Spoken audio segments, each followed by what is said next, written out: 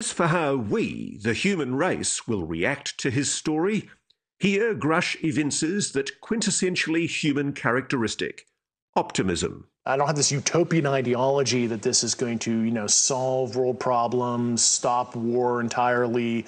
But all I want is a moment of pause and, and to see if the subject unites us as we've obviously become more divided over the last couple of decades. Because, if anything else, what you're revealing may mean we all start thinking of ourselves not as American, Australian, Russian, Chinese, but as human. Human family, I think that's uh, totally the right term, yeah. Perhaps we need some outside universal threat to make us recognize this common bound.